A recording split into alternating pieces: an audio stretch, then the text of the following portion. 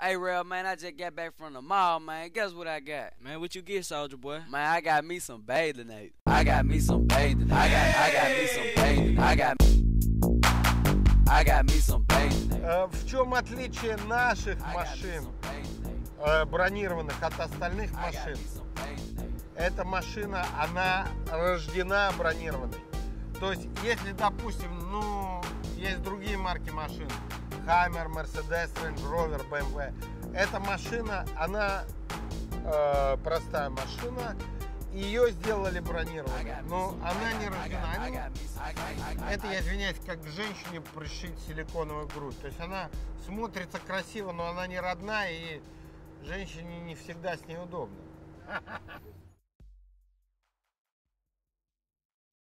Ну, собственно, что рассказывать о себе? Я родился в Советском Союзе, когда о капитализме не было даже мечты. И как только в 1988 году Михаил Сергеевич Горбачев разрешил делать кооперативы официально, я открыл фирму Дартс.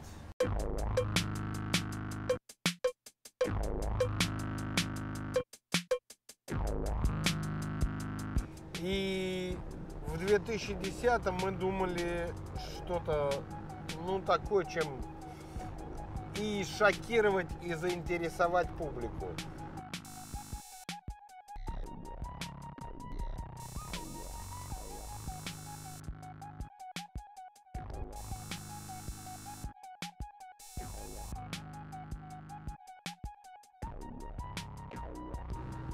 Ну, какое-то вдохновение, но я не скажу так, что как Архимед на меня упало яблоко или еще что-то. Ну, так как мы, в общем-то, выпиваем водку, наверное, мы как-то выпили этой водки и родилась эта идея. Не скажу, как она родилась, она просто родилась. Знаете, гениальные вещи, они просто, они просто рождаются.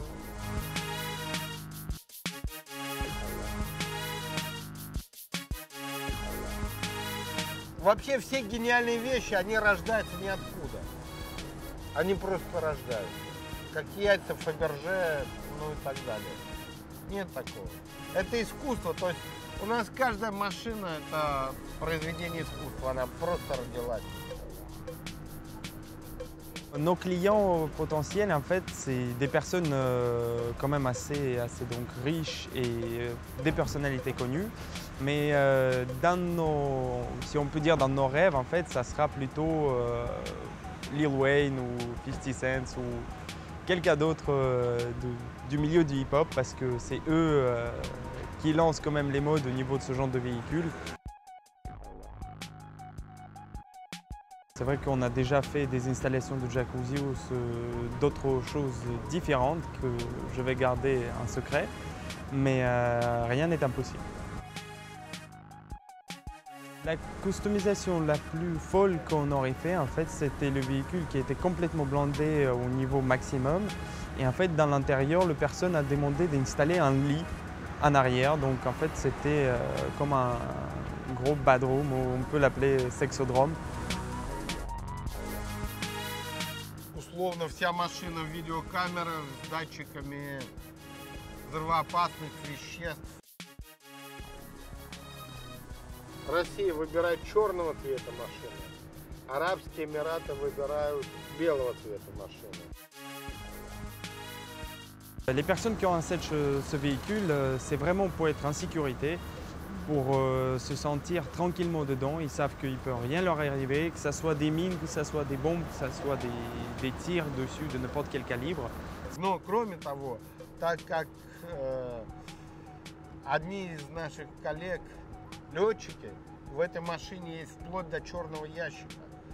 И, допустим, вот эта машина, как она бронирована, если в случае чего, последние слова водителя или пассажира, они тоже есть.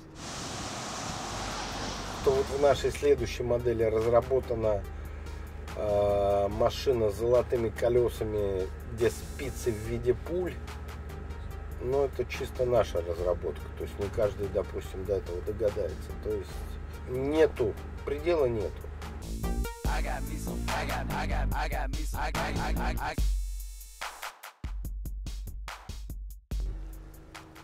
Бронирование этой машины э, довольно уникальная вещь. Здесь применяются технологии, которые применялись в Советском Союзе, как я уже говорил, для машины Леонида Ильича Брежнева, так называемая капсула. Когда вначале строится капсула для защиты клиента, и вокруг уже этого строится сам автомобиль.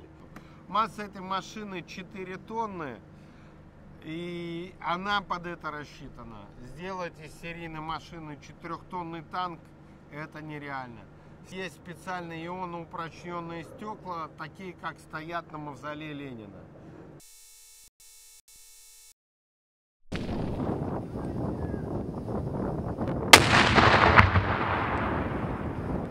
Вот это такая страшная тайна, которую, наверное, знает уже весь мир. Я не умею ездить на машине. У меня нет водительских прав. Я, я не знаю, как устроена машина. Амар Хаям говорил, живи сегодня. Я так и делаю. То есть, если я пью водку, то я пью ее много. Я не понимаю, как можно пить 200 грамм водки или 300. Ее надо выпить или литр, или два. Она действительно это танк на колесах. И в чем отличие от любой другой машины? Она ведет себя естественно, когда на нее навешивается броня. То есть она не теряет скорость, не теряет маневренность и на данный момент по испытаниям является самым быстрым джипом бронированным в мире. Это по испытаниям, это не какие-то такие вещи.